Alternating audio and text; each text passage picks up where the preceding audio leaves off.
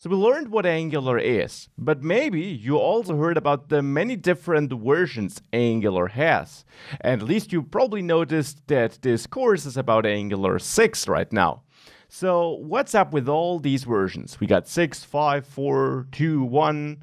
What's up with these versions?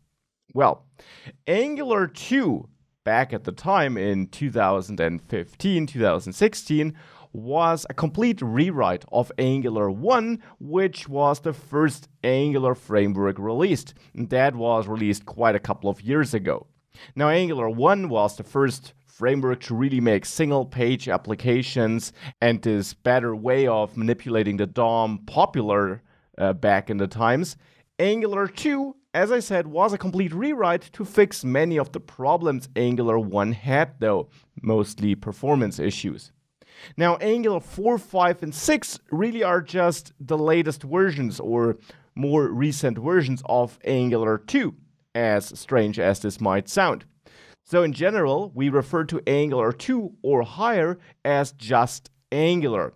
So, the framework is now called Angular and it simply has different versions. Angular 1, on the other hand, is not related to these versions, so it's not related to Angular 2 Plus and therefore we refer to that as AngularJS to differentiate these two frameworks. Now, the Angular framework, where currently Angular 6 is the latest version, and that's the version you're learning in this course, is not a complete rewrite for every new version. Instead, we just have incremental small improvements. And indeed, the code you learned for Angular 2 is pretty much the same for Angular 6. There just have been some tweaks and some tiny adjustments. So we're not talking about big changes between these version numbers, though Angular 6 is the latest version, as I said, and it's the version covered in this course. Now, important, Angular 1 is not related to Angular 2 Plus, that's important.